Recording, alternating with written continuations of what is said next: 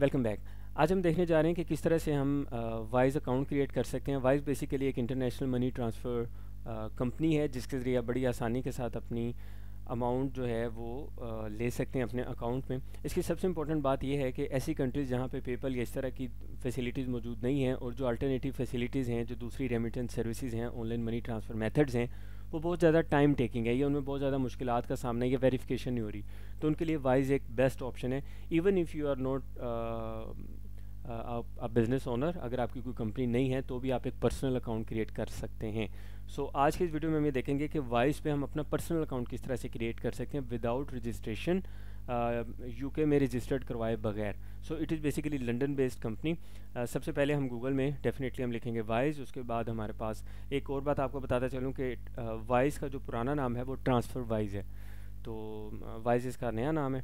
तो अब इसको हम जब सर्च करेंगे गूगल में तो उसके बाद हम यहाँ पे जो फ़र्स्ट क्लिक है, इसको हम ओपन करने जा रहे हैं। ओपन करेंगे तो हमारे पास यहाँ पे क्योंकि इनकी ये ऑफिशियल वेबसाइट है तो इसमें वो उसका साथ साथ जो मुख्तलिफ़ करेंसीज़ हैं उनका कंपैरिजन भी आ रहा है। क्योंकि लंदन बेस्ड फैसिलिटी है तो यहाँ पे ऑनलाइन मनी ट्रांसफ़र ऑप्शन है तो उसमें जीबीपी और पी की जो कन्वर्जन है और वो आ, इस पर रेट क्या देंगे आपको कितनी ड्यूरेशन के लिए ये रेट गारंटेड है ये सारी की सारी चीज़ें यहाँ पर आपको वन बाय वन वो यहाँ पर शो करवा रहा है। Each and every thing is very clear दूसरी बात यह है यहाँ इसकी ख़ास बात यह है कि ये फास्टेस्ट वे है I think so if if you are facing problem in case of PayPal और इस तरह की दूसरे स्नैरियो में तो वाइज से अगर आप अपने किसी क्लाइंट से या किसी कंपनी uh, के थ्रू अगर आप काम कर रहे हैं कहीं पे आप कोई रिमोट जॉब कर रहे हैं या इफ़ यू आर फ्रीलांसर तो वाइज एक फास्टेस्ट वे है you just have to give your Wise details और आसानी के साथ आप वहाँ से फ़ंड ट्रांसफ़र कर लेते हैं और बाकी मामला है सिंपली वाइज से आपका, आपने किस तरह से वो अमाउंट अपने अकाउंट में, अपने बैंक अकाउंट वगैरह में ट्रांसफ़र करनी है which is not a big deal तो सबसे पहले हम ये देखते हैं कि हम इसको किस किस मकसद के लिए इस्तेमाल कर सकते हैं। पर्सनल की ऑप्शन भी मौजूद है बिज़नेस की ऑप्शन भी मौजूद है। तो गेट स्टार्टेड पे हम क्लिक करते हैं और इस पर हम ये देखेंगे कि वो हमें ऑप्शन दे रहा है वाइज अकाउंट क्रिएट करने की।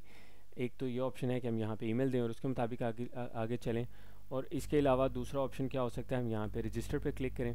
रजिस्टर पे क्लिक करने के बाद भी हमें उसी तरह से वो हमसे ईमेल ही मांगेगा। So it's up to you तो यहाँ पे हम ईमेल देते हैं, कोई भी हम यहाँ पे ईमेल दे सकते हैं।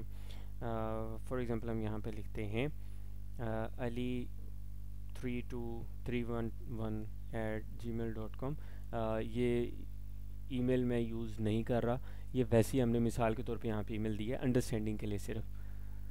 अच्छा अब यहाँ पे ये देखें कि हमने पर्सनल अकाउंट क्रिएट करना है या बिज़नेस अकाउंट क्रिएट करना है। अब बिज़नेस अकाउंट क्रिएट करने है तो उस केस में आपके पास वो कंपनी की रजिस्ट्रेशन और इस तरह की मुख्तु चीज़ें हैं। तो हम सिंपली पर्सनल अकाउंट क्रिएट करने चाह रहे हैं ताकि हम आसानी के साथ पेमेंट सेंड कर सकें स्पेंड कर सकें और रिसीव कर सकें overall so your country of primary residence आप पाकिस्तान से हैं तो पाकिस्तान सेलेक्ट करें इंडिया से हैं तो आप इंडिया सेलेक्ट करें यहाँ से। अगर आप फॉर एग्ज़ाम्पल बांग्लादेश से हैं तो आप बांग्लादेश सेलेक्ट करें। इसके अकॉर्डिंगली जो भी आपकी कंट्री है वो आप यहाँ से सिलेक्ट कर सकते हैं। सो so, यहाँ पे ये अफ़गानिस्तान की ऑप्शन नहीं दे रहा बांग्लादेश की ऑप्शन दे रहा है। तो हम इनमें से कोई भी कंट्री सेलेक्ट कर सकते हैं। तो इसको बाय डिफ़ॉल्ट हम यही रहने देते हैं पाकिस्तान और इसको कंटिन्यू करते हैं। इसके बाद हम यहाँ पे जो भी हमारा फ़ोन नंबर है वो यहाँ पे हम फ़ोन नंबर प्रोवाइड करेंगे। और उस फ़ोन नंबर की बेस पे ये हम एक वेरिफिकेशन कोड देगा। जब हम ये कोड वेरीफाई करेंगे उसके बाद हमें यहाँ पे ये ऑप्शन देगा पासवर्ड सेट करने की। जब हम पासवर्ड सेट कर लेंगे तो सिंपली आपका एक वाइज अकाउंट क्रिएट हो जाएगा। अच्छा उसके बाद वाइज अकाउंट के क्रिएट होने के बाद फिर हमारे पास मुख्तलिफ़ ऑप्शन आती हैं और उन ऑप्शन में जो सबसे अहम तरीन चीज़ है वो ये है कि हम उसमें फिर ये देख रहे होते हैं कि हमें कौन सी ऑप्शन जो है वो सूट करती है। आ, उसमें जिस तरह से आपने इसके होम पेज पे देखा अगर हम इसके होम पेज पे वापस जाएँ तो रजिस्ट्रेशन का आपको सारा प्रोसीजर बता दिया मैं इसके ज़रा होम पेज पे वापस जा रहा हूँ। तो जब आप इसको रजिस्टर करवा लेंगे, अपने मोबाइल नंबर के थ्रू जो भी कोड आएगा पासवर्ड सेट कर लेंगे, उसके बाद जब आप लॉगिन करेंगे तो जिस तरह यहाँ पे ये जी शो कर रहा है, वहाँ पे आप एक ही अकाउंट में मल्टीपल करेंसीज के अकॉर्डिंगली आप अकाउंट क्रिएट कर सकते हैं। लाइक फॉर एग्जांपल आप वहाँ पे जी बी सेलेक्ट करेंगे तो जो भी अमाउंट आएगी वो वहाँ पे जी में पड़ी रहेगी। अगर आप वहाँ पे यूएस डॉलर सेलेक्ट करेंगे तो वहाँ पे जो भी अमाउंट आएगी वो यूएस डॉलर में पड़ी रहेगी। और वो अमाउंट फॉर एग्जांपल आपने यूएस डॉलर में वहाँ पे रख लिया या ब्रिटिश पाउंड में वहाँ पे रख लिया आफ्टर वन मंथ अगर उसकी आपकी लोकल करेंसी जो इंडियन करेंसी है या पाकिस्तानी या बांग्लादेशी करेंसी है या कोई भी कंट्री है, उसके अकॉर्डिंगली अगर यूएसडी की वो वैल्यू बढ़ती है तो आपकी वो वहाँ पे वो यूएसडी में ही रहेगी। तो आप जब कन्वर्ट करेंगे तो आपको उसके मुताबिक एक नस्बता एक बेहतर रेट मिलेगा अगर हम इसको कंपेयर करें, दूसरी जो रेमिटेंस सर्विसेज़ हैं उसके साथ। फिर आप ये भी कर सकते हैं कि आप उसमें एक इसी एक अकाउंट के अंदर जो आप पर्सनल अकाउंट करेंगे, इसमें आप एक यूएस डॉलर बेस्ड आप एक अकाउंट बना लें उसके अंदर और दूसरा आप साथ में इसके एक जीबीपी की बेस पे बना लें।